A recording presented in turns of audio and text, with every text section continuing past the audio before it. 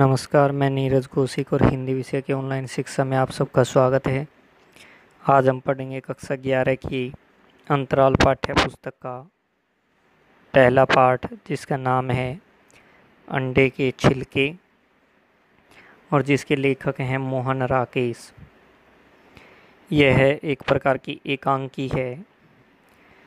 प्रस्तुत एकांकी के माध्यम से लेखक मोहन राकेश ने वर्तमान समाज की दिखावे वाली संस्कृति और समाज की कुरीतियों को आश्चर्यजनक ढंग से पेश किया है, जहाँ परिवार में अंडे के उपयोग के प्रतिबंध के बाद भी अंदर ही अंदर सभी उसके उपयोग के पक्ष में मालूम पड़ते हैं।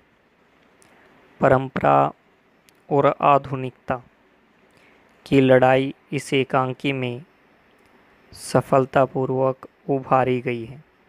यानी जो प्राचीन परंपरा और आधुनिकता का समय जो है, उन दोनों के बीच की लड़ाई सफलतापूर्वक उभारी गई है।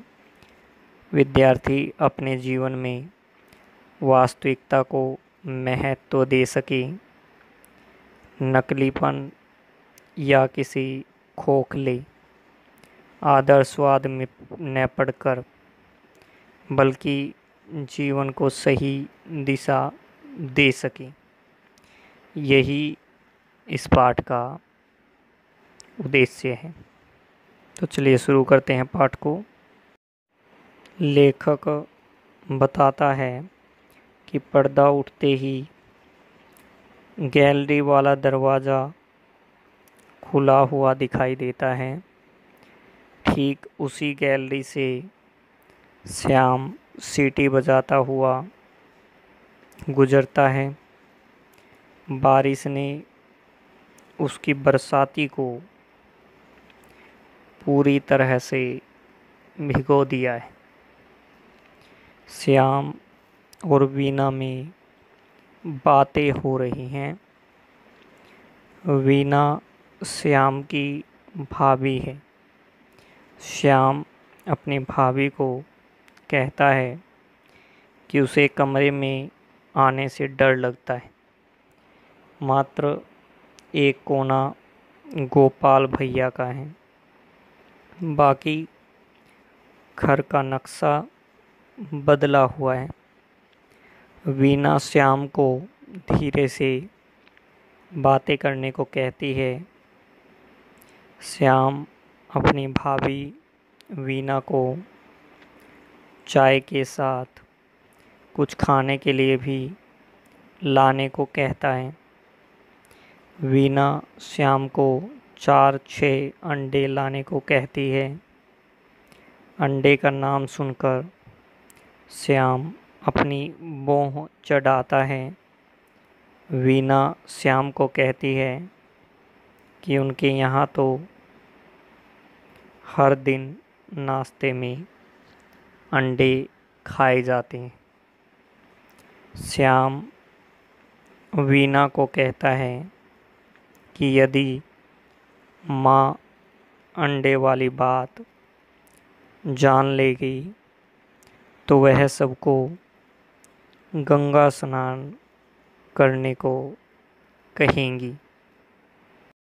आगे कहानी में लेखक बताता है कि वीना का पति गोपाल सुबह नाश्ते में अंडे खाने के लिए बिजली का चूल्हा खरीदता है तो श्याम स्वयं सबसे छुपकर कमरे में कच्चा अंडा खाता है। गोपाल व श्याम दोनों को अपनी माँ का भय है। गोपाल अंडे के छिलके मोजों में छिपा कर रखता है।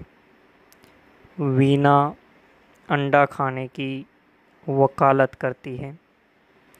वैसे श्याम भी छिपकर अंडा खाता है। वीना श्याम से अंडों के साथ कुछ किशमिश लाने को भी कहती है। वीना को घर के कपड़े संभालते हुए जुराबों में अंडों के छिलके मिलते हैं। वीना दरवाज़ा थपथपाते हुए राधा जी जी को पुकारती है।